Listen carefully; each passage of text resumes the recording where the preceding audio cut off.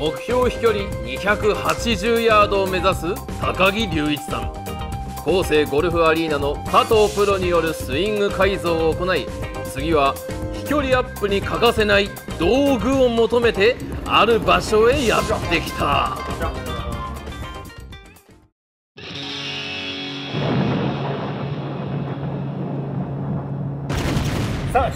をひたすら追い求める高木さんでございますが、えー今までいろんなあのレッスンをしてきましたけれども、今回は、まあ、そもそも論としてこの道具これがそもそも合ってるドライバーなのかどうなのかということですよ、自分のスイングに。そうですね。このドライバーはあの使い出してどれぐらいですか？4年ぐらい経った4年、ということはもうすっかり自分には合ってないクラブかもしれないですよね。可能性は高いですね。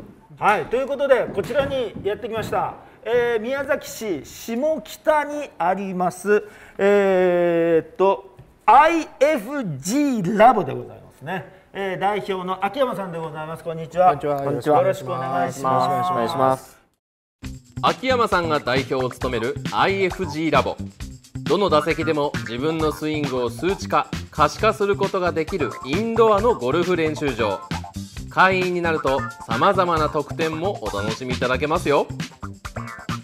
秋山さんはそもそもゴルフ歴というか、そうですね。ゴルフ自体は、えー大学からスタートしまして、はい。えー実はあの大卒でそのままあのスポーツ業界、はい。まあ、特にゴルフの開発に約20年携わってました。なんですか、はい早く言ってくださいいやいやいやよももう。ということは、はいもうゴルフのクラブに関してはトップ中のトップですいやいね。やもう人より多少知ってるぐらいですよ。いやいや、それだって作ってたんですでまあもんね。まあ作ってましたけど。じゃあちょっとあの飛ばせるドライバーのフィッティングを、はい、フィッティングをよろしくお願いします。はいやらさせていただきます。お願いします。さあ秋山さん、まずは何から？えー、とドライバーでですね、えーまずはどのようにボールに対してコンタクトしているかという細かいデータを取っていきたいと思いますので。今の状態ですね。そうですね今の状態。今自分のクラブでどういう状態かを確認していきます。なるほど。そこで使用するのが弾道計測器フライトスコープ。インパクト時のスイング条件を可視化しプレイヤーがどのような軌道とインパクト条件でボールをヒットしているかを確認できます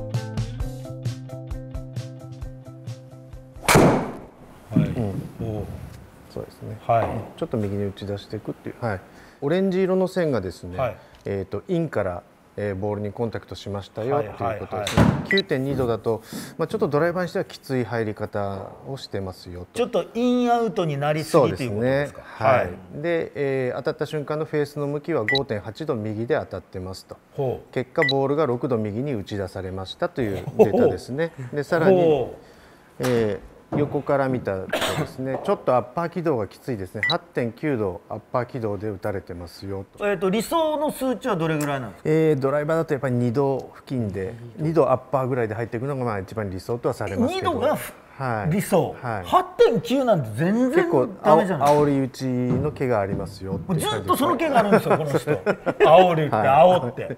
で打ち出し角は16.5度ですね大体13度から16度ぐらいが、えー適正弾道になってますので、はいまあ、その範囲内でいかにまあスピンを抑えて、えーちゃんとフェースがまっすぐ向いたコンタクトができるかっていうところがまあ目安一つの数字の目安になります。なるほど。ということはですよ、まずは何をどう目指せばいいんですかね。そうですそうですねあの、はい軌道を変えるっていうのはあのスイングの先生に教えてもらうところなのであそうですよね。まあ、この軌道で、えーまあ、最大のパフォーマンスができるように、えークラブのヘッドえーシャフトのチョイスをおしていくという形になります。なるほど。はい。普通だとはい、これを見て、はい。あなたもっとこうしなさいとか、はい。こうしなさいとかありますが、はい。このデータに基づいて、はい。クラブを変えましょうと。はいそうですね。私はクラブのプロなので。レッスンレッスンプロではないので、はい。ということはスイングはそのままのスイングにクラブを持ってこようと。はい。っていうか最初からここに来ればよかった ちょっとあんないろいろせんで。まあだけどあれがあったからこそここにねはい。たどり着いたわけですから、教えてもらったことはちゃんとしてくださいよ。はい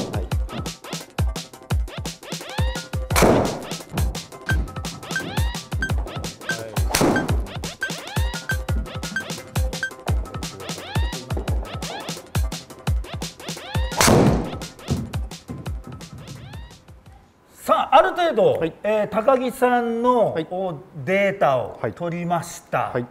えーまた打席変わりましたがそうですね。ここでは、えーこちらのシミュレーターの方がですねあの飛距離データは正確ですので、はい。えーこちらの方でじゃあ実際今のクラブと、えーセッティングしたクラブにどれぐらい差が出るかっていうのを、まあ、試していきたいとなるほど。思いますゴルフシミュレーター GDR ハイスピードカメラを使って細かなデータ分析をすることによって楽しく臨場感あふれる練習と優れたデータ集計でスキル向上を実感できます。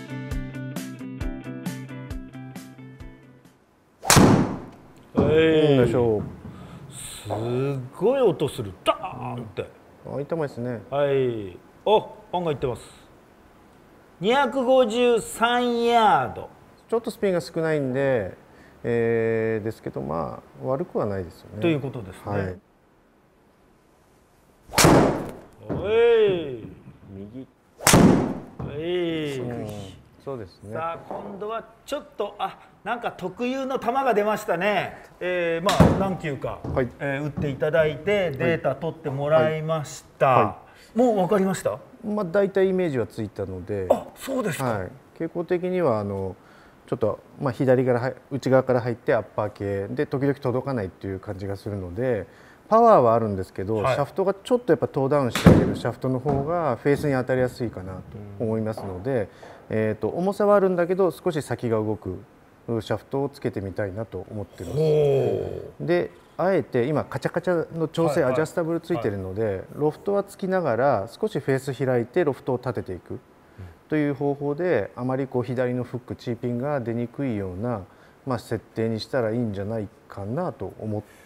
よく言うじゃないですか。あの、はい。な手元上司中上司、先上司とか、はい、これはどの調子なんですか？調子は中上司ですね。中上司、はい。中上司ですね。真ん中がちょっと、たわむ感じまあですか、はい、まあススタンダードなもあのですね。ーなるほどですね、はい。これでフレックスは S, S です。ですね。はい、ちょっとはい。軽いかもしれないですけど、まずはそのたわみ感をちょっと見ていただければと思います。で、なるほどはい。なおかつロフトは10.5度で、えーフェースを開いて入れることで、えーロフトが9度まで立っていきます。でこれヘッドは何ですか？えーテーラーメイドのシムマックス。なかなかいいヘッドと言われてるやつそうですねね。なかなかあのプロも使用率が高い。ですよね、はいさあということで、えー中上司のシャフトまずは基準ですね。に、はいえー10.5度をおオープンで、オープンではい、入れた状態で。10.5度オープンに入れるとですよ。11とか12とか、オープンにするとロフトが立つので9度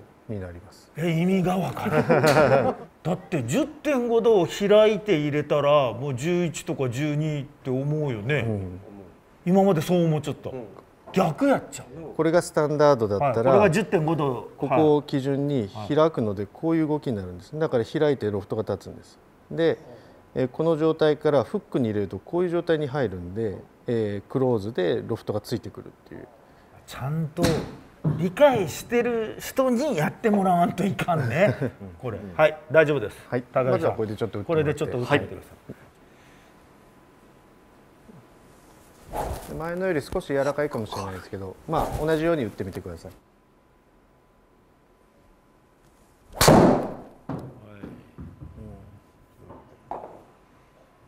さあ何球か打ってみましょうか、はい。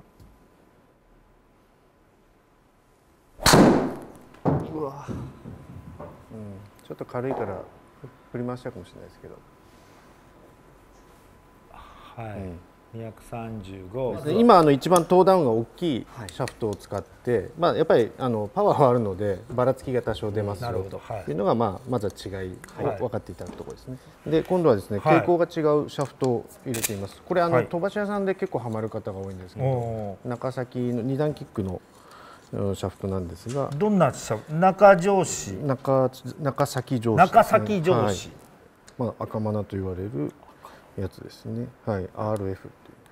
はい。はい、はい、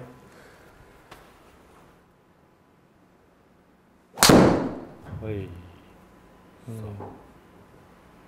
Go go 多分さっきとちょっとタイミングがまた変わってくるのでちょっと何発か打ってもらって。はい。最近。あの曲がりの幅とかはちょっと少なくなりましたね。そうですよ少なくなった感じがしますね、今日はでも飛ばさなきゃならないから、ね、そうなんですよ。そうなんですよね。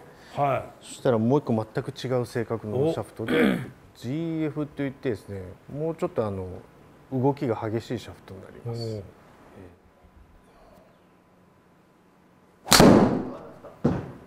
今またすまたごい手前から行きましたよ。またね。調子が違うので、はい。なるほどね。同じように振ってるつもりですが、はい。シャフトの感じが違うので。リズムがちょっとやっぱり変わって違きます。うんですね、はい。やっぱり変わっていくんですね。わあ、はいはい。先に当たりますね。そうなんですよ。先がちょっと動く感じがすると思うんですよね。すごい先当たる。さあ、えー今んとこ自分のクラブで打ったやつが飛距離は出てますけど、うん。そうですね。まだちょっと慣れない部分もある。そ全然んな変わりますか？挙動が全然違いますね。違う？違う。ここここから降ってきた時になんかすごい違います、ね。うん。まああの全く違うと思います。はい。これじゃあ高木さんにもっとこう合わせるとしたら考えられるとするとどんなま感じが、あ、やはり赤で、えーまあ、フェースを合わせたりとか、あとはグラムを合わせたりっていう。グラム。ろ50から60にしてみるとかなるほど。構える時にどうしても癖でこう寝かしていくくクローズしていく癖があるので、はい。えー少しロフトを戻してみました。はい、なるほど。なのでできればポンと置いた状態で構えていただけるとクラブはやっぱ正しく使わないと、ちょっとやっぱはい。そうですよね。ぱりですねどうしてもあの右行かせたくないからこうかぶしてしまう癖があるので、しっかりこの状態ですね。ここでグリップしていただいてこのまま振り上げていくっていうのが大事です、はい。道具は正しく。はい。はい。はい、さっき試してみた赤まなちゃんに、えーヘッドをちょっとお戻してみたはい。うことですよね、何度ぐらいな感じになってるえー、と今でマイナス1度オープン1度オープンぐらいの感じですね、はい、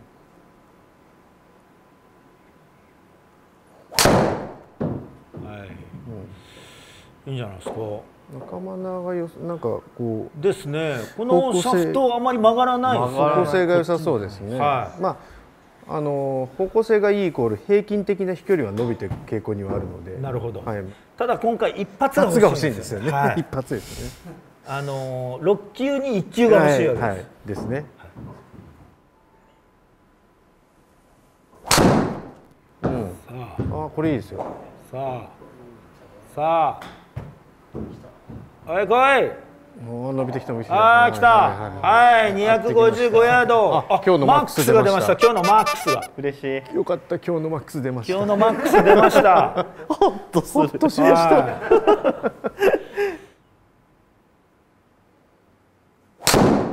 はい安定してきましたね。はい、い。やいい球打つよ、ずーっでとスピン量もあの2000に近づいてきているので、はい。あのドロップがしなくなってきましたね。はい。はい。これも253ヤードですもんね、さあ頑張って。1400台だと18度ぐらいはいいんですけどね。あと初速が欲しいですね。ですね。おお来た。いい感じか煙が出た時は一番条件がいいと思います。あはい。さあ行来おお来たおお来たおマックスマック更ス来ましたました。261ヤード何発かの一発が出ました。はいスピン量が2000そうですね。2000台は必ずありますね。はいはい。やっぱあれぐらいは欲しいということなんです。ねはい。要は球がずっと上空に居続けようとする力なんで、なるほどバックスピンははい。このヘッドの調整はもう今これぐらい。今多分調整も具合もこれぐらいがいいのかなっていうので、あーまあこれかあとはもう一個重め重めを使ってみるかですね。パンチ入るように。50これが今今使ってたフレックス S の 50g 50グラム。はい。で次が 60g 同じ同じやつの60グラム、はい。い、わゆる10グラム重くなったってはいことです、そうですね重くなるとどうなるんですか、えーっとですねやはり硬さが少し同じ S でも出てきます。はい、その代わりちょっとトーダウンがしにくくはなるのでなるほど。しっかり前に体重をかけて振っていければパワーは出るはず。手の力抜いて。ゆるゆるで。